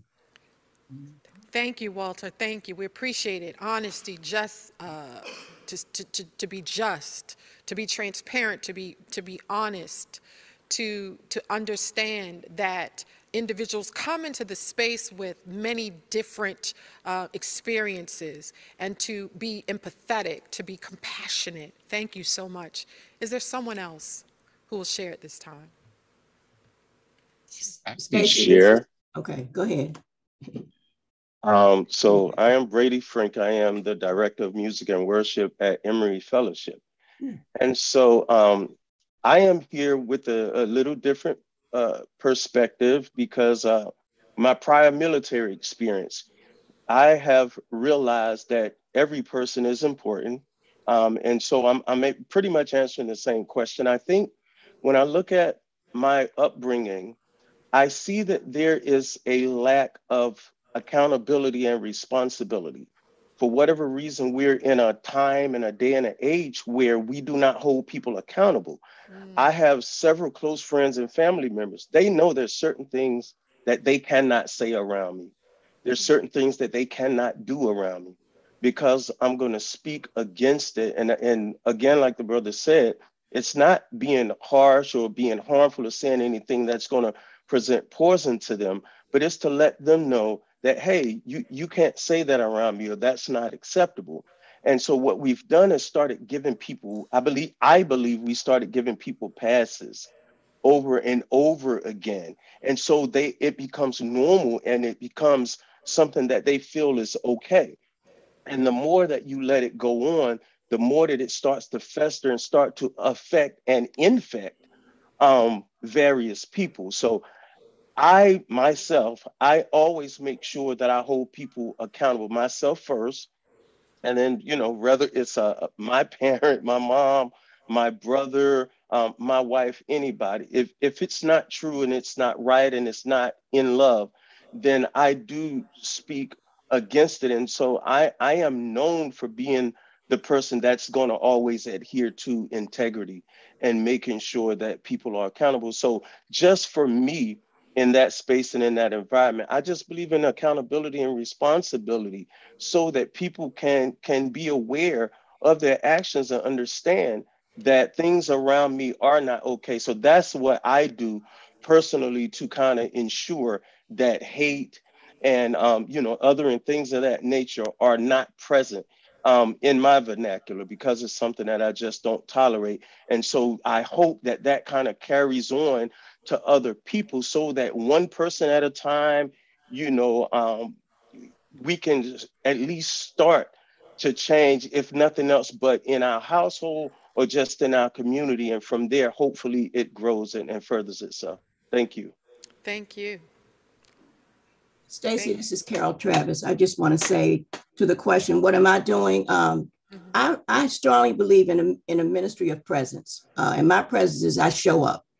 Um, I show up in places where um, there are all white groups, where there are all African American groups. And as you get to know people and start to, to, to, to actually build some sort of relationship with people, uh, you get to understand them and know who they are. Uh, I'm a big believer in the work of the late Junius Dotson. I've sat in many sessions with him, and I really believe in seeing people, seeing people for who they are, where they are. But my biggest thing is to just show up, uh, whether it's on Zoom, whether it's in person, um, and build relationships from there. Uh, we have been in a difficult time, but during the pandemic, I've managed to still maintain my relationships. I've met new people. I have new people in my network, and I'm always looking to see who I can add, who I can partner with, and who I can work with. So that's me. Thank you. Thank you. Thank you. Showing up, being present. Yes. Everyone hear me? Yes, we can hear you. Um, I'm sort of in a dilemma, and I often pray that God will search my own heart. Being a person that grew up in segregation, um, being in the military in the time that it was segregated, um, not segregated, but there was a lot of prejudice. Um, you know, I often think about the time when I was in basic training. And when I finished my basic training, I was in a military uniform.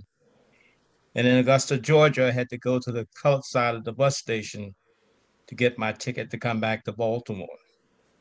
Um, you learn to forgive, but you don't forget all the time. And I have to ask God to deal with me to remove the biases that I have in my own heart before I can deal with any situation. Powerful. Thank you so much. I have to deal with the biases in my own heart uh, first, building that self capacity uh, to do the work. Thank you so much. Thank you. Is- May I, may I share? Yes, please, please.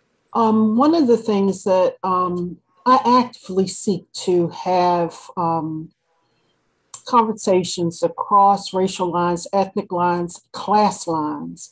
And um, the latest thing that I've done is to actually engage my members of my congregation to be in conversation with other people beyond our denomination and who are um, of another racial group to actually explore the book um, White Fragility and have a whole it was a, it was six months worth of conversation. But in the midst of that, even before we had that conversation, we had to have a conversation about um, not code switching. Hmm. And folk need to explore that a little bit more about how we change when we're in the presence of other groups so that we can be accepted mm-hmm. or that our conversation will be understood so that we're not imposing or we're not harming. Mm-hmm. Reality is is that once we stop code switching, we were able to really get into some very deep and meaningful conversations. One of the things that occurred was that we, we were doing this virtually and at the end we all got were able to all get together um, in one location to meet each other personally. And friendships have been have been formed because it wasn't an intellectual exercise. It became a personal exercise. Um, and that was very very different but having to push each other to be honest, to be open, to be in conversation, and not to be accusatory, but rather to explore. Um, and it was very difficult. One of the uh, uh, many of the assumptions that were made about being Black, about being um, in our community where so much violence occurs, is that we were not educated.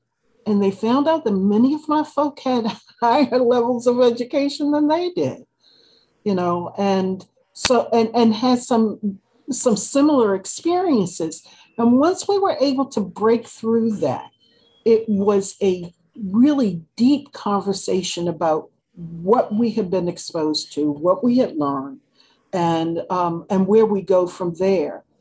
Um, so our activity right now is about building peace and trying to. And when I say building peace, I'm talking about justice, not the absence of activity, but the pursuit of justice and actually trying to figure out how we do this.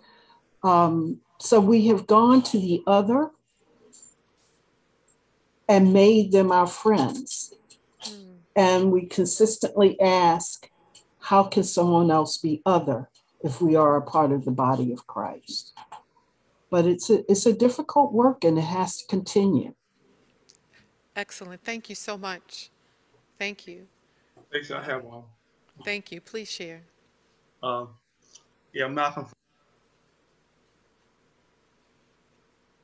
I'm gonna share uh, a couple of instances where I, well, let me explain. I was having uh, dinner in a restaurant, and the waiter who was responsible for my area happened to be a young black male. So I sat down at my table, I sat and sat and sat, and right across from me was a white family who this waiter called on and went to repeatedly and kind of ignored me. I had to wait a long time to get water, a long time to get a menu and everything.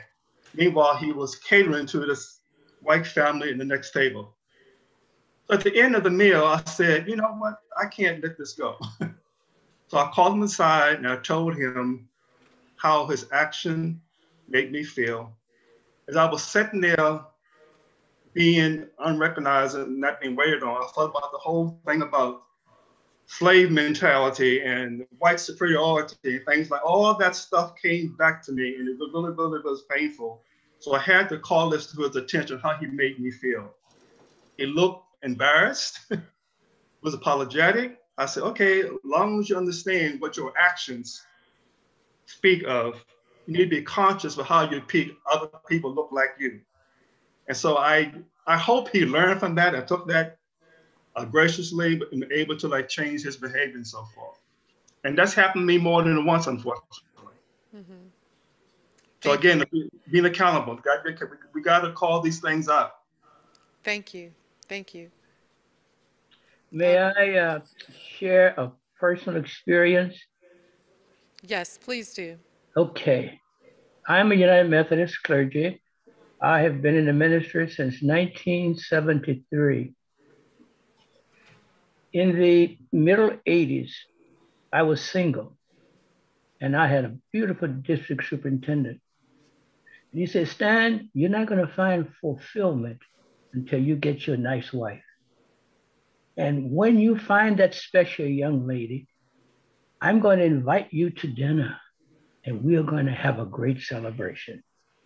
Well, after a year or so looking around, and God, and God put someone in my life and I told him, I called him, I was all excited. I got somebody that I love and she loved me and, and we're going to get married. And he said, okay, Stan, great, great, great. We're going to invite you over to dinner. Well, guess what happened?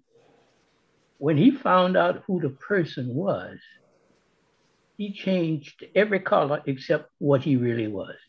Hmm. Unfortunately, the young lady was Caucasian. She was white. And my district superintendent could not deal with that. Hmm. And it's been almost 50 years. I don't know where he is now, but I remember at an annual conference, my wife, who was white outside, but inside she was everything else. And she met him in a hall, and I never forget his expression. It was five years later, and she went up to him and said, Dave, we are still waiting for our dinner invitation. Hmm. And he looked at her and he couldn't say a word. All he can do was hang his head and walk away. Hmm. Now that's inside. That's people that you're supposed to look up to. That was my district superintendent. And when we got married, he made sure that he figured out a way to be out of town. Not only that, my bishop, who was African American, called my wife and I together and looked at us and said, You are going to cause problems for our conference. And my beautiful wife, she looked at him and said, That's why you're here to help solve the problem. My beloved, I was looking at a football game once, and I'm, I'll be finishing in a second and it was about two cops. One was black and one was white. And the black cop was the supervisor of the young white patrolman. And they got a call. There was a break-in in a warehouse. And the white cop, the black cop said to the white to, to the white cop, whatever you do, when we go, don't shoot, don't mm-hmm. shoot, please don't shoot. And so when they got into the warehouse, there was a young man came toward the white cop with a knife. And the white cop took his gun out and shot him in the stomach. Hmm. And when he shot him in the stomach, his, his kidneys were destroyed. And they said that we, he's going to die if we can't find a donor. And so everybody was tested and no one qualified to give him a new kidney. And so finally, this black cop said, try me try me. And so they tested that black cop and it matched, it matched. And so the black cop went in there, got on the bed, give the white guy half of his kidney. Mm-hmm. And they both survived. Now, here's what I want to leave you with. The, the, the black cop had a little 10 year old daughter, mm. and her mother was getting ready to put her to bed. And she was telling her about what her father had done. Mm-hmm. And she said, Mama, Mama, Mama, how can a black man kidney be put into a white man's body and they both live? The mother looked at her beautiful little daughter and said, Sweetheart, I want you to never forget this. We are all the same hmm. on the inside. Hmm. We are all the same on the inside. That's my experience I want to share with you. Thank you very much. Thank you. Thank you. Thank you. We're all the same on the inside. May I please share? Please. Thank you. Mm-hmm. Um, I, would like to speak to um, the question raised regarding Dr. Martin Luther King. And it's difficult to even talk about that right now, considering for the past several weeks, we have been consumed by Black people being killed in a grocery store, a doctor being killed at a hospital, mm-hmm. uh, children being slaughtered in a school. Mm-hmm. Uh, we just spent about a year um, dissecting the letter of Martin Luther King mm. from Birmingham jail. And the question was raised would Dr. King have the same thought that he did in the question that is before us this morning mm-hmm. about the content of our character and the color of our skin? And in reality, has it really impacted you personally? Yes, it has. It's becoming more and more difficult. And in the difficulty, I become strengthened more and more to speak to racism, to speak to those who think nothing of hurting, dismissing, uh, persons simply because of the color of their skin. Mm-hmm. Uh, I don't envy you having to raise this issue mm-hmm. on a day after we just experienced what happened on yesterday. Mm-hmm. But I encourage you to mm-hmm. keep on doing it. Please continue. Thank you. Thank you. Again, Madam, can I speak? Yes, please. Please do. My name is Nelson Gardner, and I go to uh, Calvary United Methodist Church of Annapolis. I grew up in PG County during segregation. I'm 71 years old right now. And I took a class um, recently at my church. And uh, excuse me, this is not good. Um, but it was about racism. And it was a black and white preacher that had dialogue. Hmm. Man, it really changed me. I took it upon myself to meet a, a black person every day, or a person of color, Hispanic, Chinese, whatever. And I did that for a couple months. I would just engage with people, ask them their name, and repeat it. The deal is really simple. We have to take action. I'm not a person of words. My background is engineering and numbers and all that stuff. I'm a musical evangelist. And uh, soon to be certified lay speaker. on the paperwork in the mill right now. And I uh, set up a nonprofit last year called In His Grip Ministries. And the purpose of that ministry is to spread God's word through music. And the song Jesus Loves Me tells the whole story. It's that simple. Red and yellow, black and white, we are precious in his sight, period. And all you got to do is get out there and take action. You know, I'm just going to leave it right there. I've been called to knit the races together. I'm working in Annapolis district and it's working. I was down in the field in Lothian, six churches, four bands. I've got racial elements in my music. Next Friday night and coffee houses at our church, and it's it's just it feels like the right thing to do. Mm-hmm. Thank, thank you very much. Thank you. Thank you so much. I appreciate all who've shared in this space. And before we move on, I just want to make sure that we have the, the, the ethnic diversity represented in this conference. Uh, so if there are other persons who would like to just offer a, a, a brief comment uh, into this conversation before we move on to our wrap up, we would love to hear from you. Uh, and so we'll, we'll, we'll make space and time for you to do so now. If there's at least one or two others, please share. Could I jump in real fast? Yes. Um, I just want to share that for me, the biggest thing that changes me is um, when I invite other people, and it's not always easy to do because there are boundaries that we all set up, but when I invite them to be authentic with me, mm-hmm. and and I sometimes take the first step to be authentic with them, it helps me take the log out of my eye so that I can see and hear and live better. Hmm. Thank you. Thank you so much. May I speak? I am. May I speak? Yes, please do. My name is uh, Joseph Smith from St. Luke United Methodist Church. This will be brief. I'm 73 years old, and eldership is very important if you're trying to serve God at my age.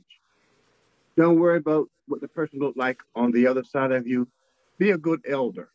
Hmm. But I mean, by that I mean this three things. You do no harm. You use one of the most powerful tools God gave you, the spirit of goodwill. And be respectful. But being an elder also speak as an elder. Mm-hmm. That doesn't mean speaking down to people, but it means speaking to people and listen. have a conversation. And if they don't come across like you want, again, exercise goodwill. Mm. But God give us that gift so we can commune. And even if you don't feel you did it at, at that time, even when you're gone, they're going to remember what was said and they can look at you and see the intent. Mm-hmm. And that may lead to a change. Thank you. Thank you so much. That, that's all the time we have for open comments. So I appreciate every single one of you. Thank you so much. I'm going to ask those of you who, who are able to please mute your, your line. But I want you to know how important this moment is for us. And, and, and I, just, I just want to thank you once again for being a part of this brave space, for, for remaining engaged in this work. Uh, we know, we absolutely know that this is not enough time to, to have this conversation, to, to come up with concrete solutions. Com complex situations have complex solutions, right? We, we are aware of this. And we're aware that there are many, many critical issues that we need to address personally and congregationally. And we know that there are many that we are facing together as a people of God. So again, I just want to thank you for just pausing for just a, a, few minutes of your day, of your time, of your week, to be in community with us. And, and, and by that I mean to, to be in this virtual space together and then to make a commitment to continue these conversations uh, where you are, where you exist. So I want to give you some, some other opportunities to have conference-wide conversations, uh, and, and, and those are on June 5th, uh, 20, I'm sorry, June 25th, we will have another opportunity uh, to journey together and have a brave conversation for two hours. I believe it's from 10 to 12, from 10 to 12. Then we'll have uh, on September 8th the launch of the next community, the Journey to Beloved Community course. Uh, there we have tools for you in your local congregation, and we will begin to give you additional resources to go deeper in this work. And additionally, we will have Brave Conversation resources available for consultation with your congregation as needed. So for those of you who would like to have contextual conversations, you'll be able to contact us to do so. Um, we have encountered uh, great conversation in this space and glimmers of what can happen when we are uh, together un unafraid to have these kinds of conversations. And in the words of James Baldwin, we know that not everything that is faced can be changed, but nothing can be changed until it is faced. Thank you so much. The great love of God calls us to put our faith into action as we witness to Jesus Christ in the world, follow his teachings through acts of worship, justice, compassion, devotion under the guidance of the Holy Spirit. May God continue to bless and keep you and send us forth into the world to be love at work. Thank you again. God bless you.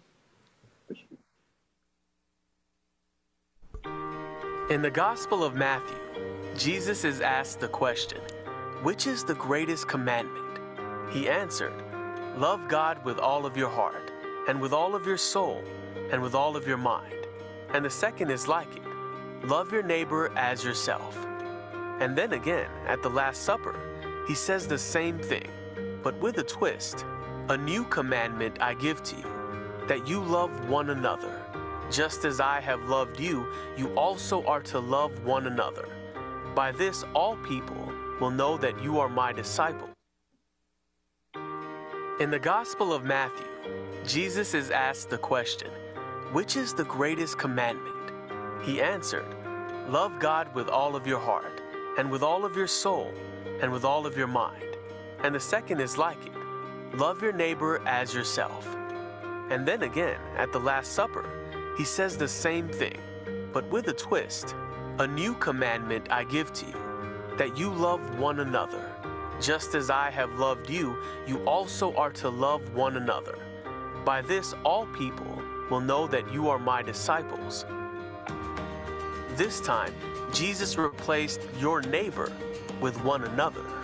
This new love that Christ commands of us goes much deeper than the Old Testament commandment he was quoting in Matthew. The people we have been commanded to love has expanded beyond our neighborhoods to include, well, everyone.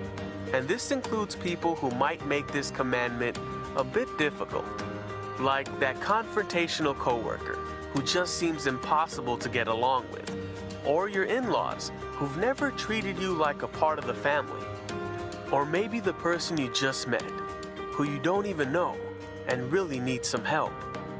You see, Jesus knew his physical time on earth was nearing an end. So in this new take on the old commandment, Jesus also made another change.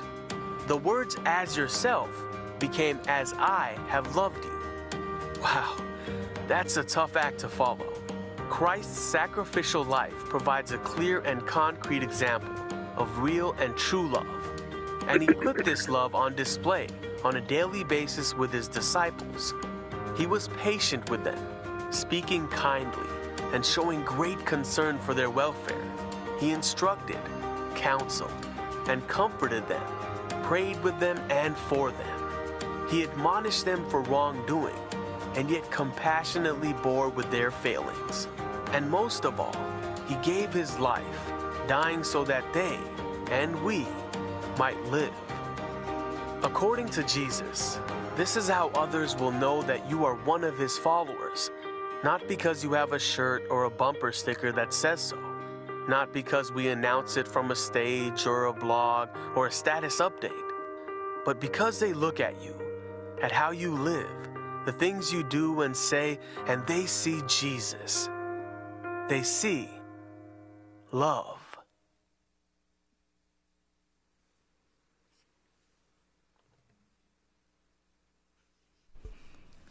Beloved of God, thank you so much. Thank you for engaging in this immersive experience as you did this morning. Thank you for being willing to engage in brave conversation. We know that that takes a vulnerability. It takes a willingness to move out of your comfort zone. That's what we're going to need to continue to see more of as we all live into God's preferred future for us. Thank you. I'll now turn once more to our conference secretary, Kevin, for some closing announcements. Thank you, Bishop. The service of commissioning and ordination at 6 p.m. will be live streamed. That link is on our conference website. If you've not already made donations to the conference appeals and offerings, you may give electronically on our website or use the link that will be showing up in the chat now. At this point, Bishop, I move that the 238th annual session of the Baltimore Washington Conference stand adjourned and that all reports provided to the conference secretary which are not otherwise acted on be considered received by the annual conference and that unfinished business be referred to the appropriate conference agency for consideration and action and reported at the next session of the annual conference.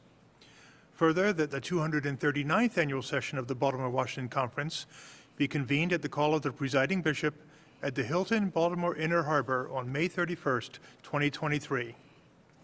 Further, that the Conference Discipleship Council, the Conference Connectional Table, and the appropriate boards, commissions, councils, and committees be instructed, authorized, and empowered to handle all appropriate business or emergencies between meetings of the Baltimore Washington Conference according to the rules and structure of the conference, provided the requirements of the 2016 edition of the Book of Discipline of the United Methodist Church are not violated in any situation. Bishop, I turn it back to you. Excellent. Thank you so much, Kevin. Did you hear that? The 239th session of the Baltimore Washington Conference will bring us all back together at the Hilton in Baltimore to be in holy conferencing together. I know we yearn, amen, amen, we yearn to be together again. So let's start praying now, beloved, that nothing would interfere. We rebuke anything that would try to prevent us from coming together. I've said throughout these three days that it takes a village, and it absolutely does. So I want to take a moment to thank our worship team, Sherry Wood Poe, Andre Briscoe, Kyle Durbin, Brashawn Jenkins, Suzanne Jones, and Olivia Gross. I want to thank Good News TV for all of their work behind the scene. You have no idea of how they have been moving and making sure that everything is just as we need it and even working through the technical difficulties so expertly. Thank you, David, and your team for all that you've done with us. We're grateful for our sign language interpreters, Becky Fry and Helen Chang. Thank you so much for what you've done for us. We want to, of course, thank everyone here at Glen Mar United Methodist Church. As the young people say, the hospitality has been off the chain. Thank you so much. And even though she told me I don't have to call her name, thank you, Reverend Mandy Sayers, for everything that you've done for us. Melena Tice and Hirok Kim. I want to thank the district superintendents who have been available at a moment's notice for prayer and to provide information and to make contacts as they've needed to. Thank you. We call ourselves the flock, so I'm grateful that the flock has continued to fly together during this season of annual conference. I thank the sessions team for all of your planning, all of the ways that you have labored to make this a fruitful annual conference team. Beloved, I now set the appointments for the 2022 and 2023 appointment season. May God bless you as our servant leaders, both those pastors who are going to new appointments and those who are returning. I pray that your staff parish relations committee will rise and share with the congregation how grateful they are that if you're a returning pastor or how they anticipate the wonderful ministry that God will do through you as a new pastor. And remember, no pastor comes to solve all your problems. No pastor comes with some magic wand. It is the pastor and the congregation that work together to make disciples of Jesus Christ for the transformation of the world. I'm grateful to Reverend Frankie Revelle for the word that he brought to us through the memorial service, and I am grateful for the word that Reverend Antoine Carlton Love will bring to us this evening uh, as we come together for a service of commissioning and ordination. It has been my privilege to sit and preside as your chair. If there were any mistakes or missteps, I pray that you will assign it to my head and not my heart, that you will be gracious and forgive me as we go on to perfection together. Thank you, beloved. We are now uh, closed. Amen.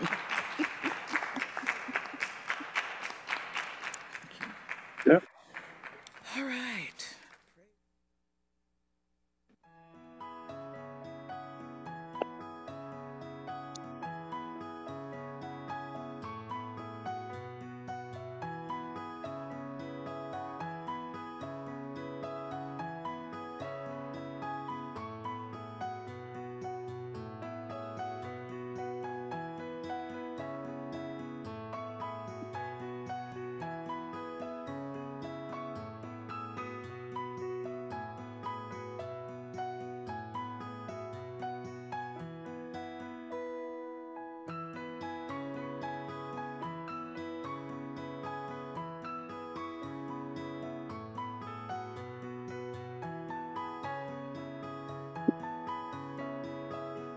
Bixby, power off tablet.